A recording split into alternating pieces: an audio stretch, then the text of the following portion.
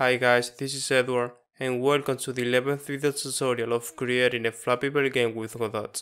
So in this video we're going to add a pause button so we can stop the game during gameplay. Without further ado, let's get into it. So having already opened the game stage as a child of the HUD node, I'm going to add a texture button. I'll name it BTN pause and as its normal texture I will assign the bottom post sprite.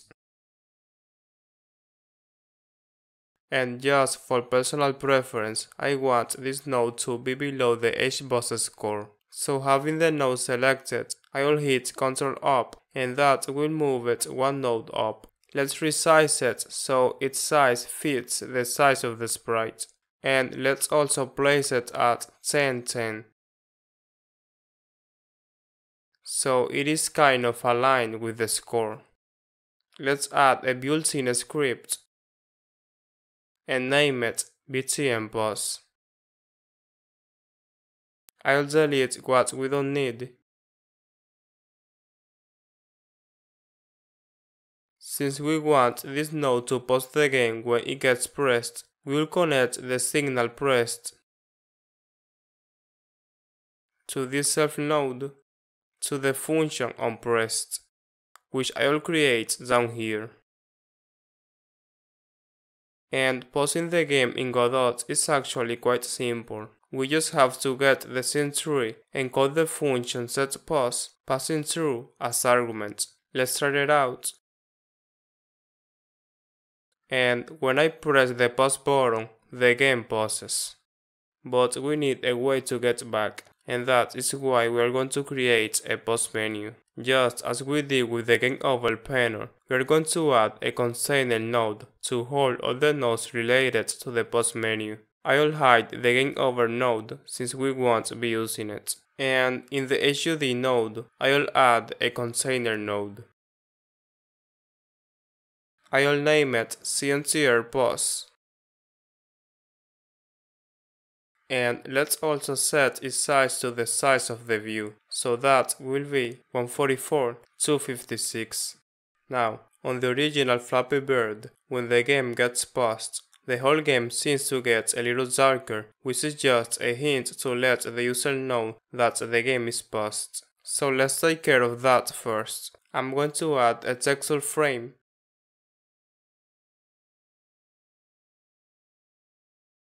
and I'll name it text background. For its texture, I'm going to set the rect black sprite.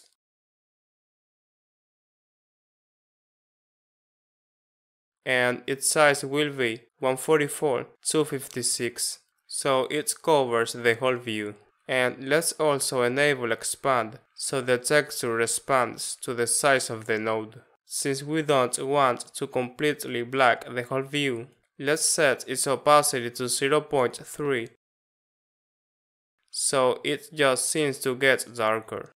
Next thing is the button to resume the game, so let's go ahead and add a texture button. Let's name it BTN Resume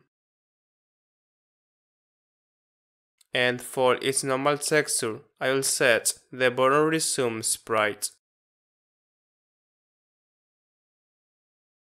and place it over the pause button so you look like the pause button becomes a resume button.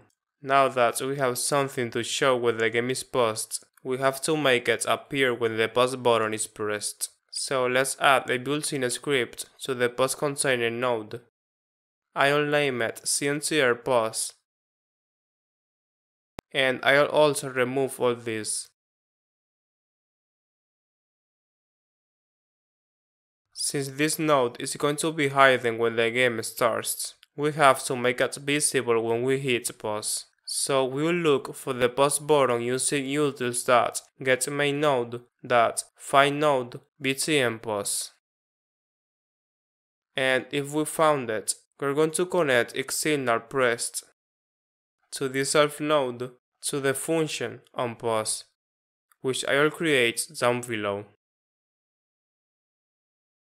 And here we are just going to call the function show. And just to make sure this node is hidden in ready, I'll call the function hide. Let's run this scene. When I pause the game, the pause menu shows up. And of course, the resume button does nothing since we have to take care of that yet. So let's add a built-in script in the resume button node. I'm going to name it btn resume and I'll remove all this. Let's connect the signal pressed to the self node to the function on pressed, which I will create down here. In order to resume the game, we will get the scene tree and set pause to false. Let's give it a shot.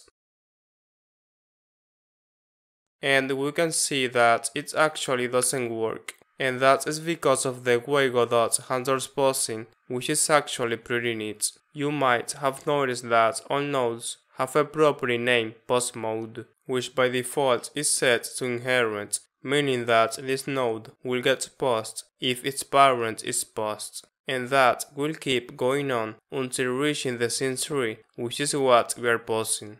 What we can do is change the pause mode from inherit to process, so it keeps running despite the scene being passed. But actually, instead of setting this one button to process, I think it's better to set the pause container node so all its children keep running when the game is paused. And it does make sense since everything in the pause menu should keep working on pause. Let's give it a shot. I'll pause the game. And when I press resume, the game continues, but the pause menu remains. And it should get hidden when the resume button is pressed.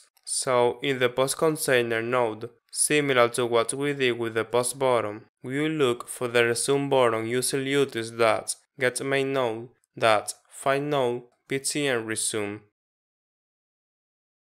And if we found it, from btn resume, I'll connect the signal pressed to the self node to the function on resume, which I'll create down here. And in here we are just going to call the function hide. Let's give it a shot.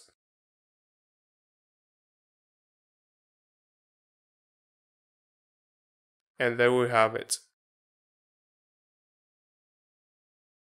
Well guys, this is gonna be it for this video. On the next video, we'll keep working on the post menu. As always, thanks to all my patrons. And until next time, see you later.